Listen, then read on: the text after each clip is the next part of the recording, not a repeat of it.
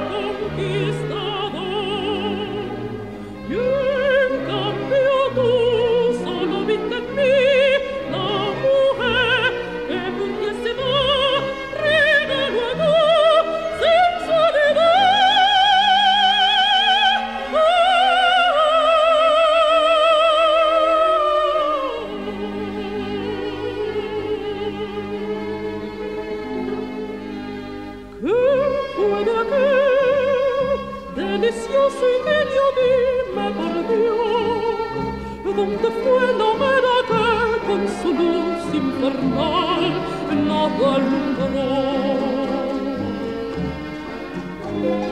Olvida que delicioso idilio calla por Dios Que de aquella hoguera no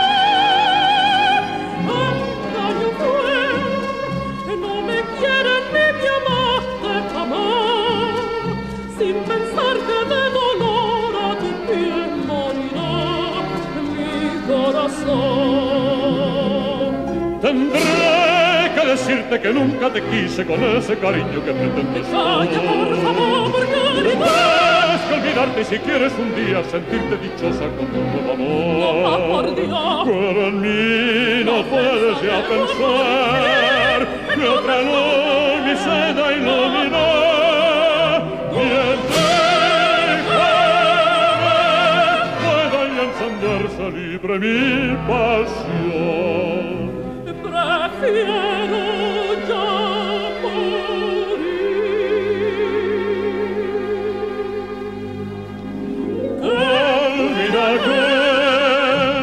delicioso y dime Otalia por Dios.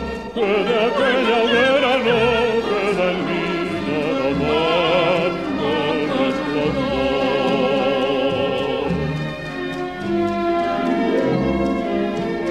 La mujer de tu amor ya me venga traidor mas de este vil proceder tu diablo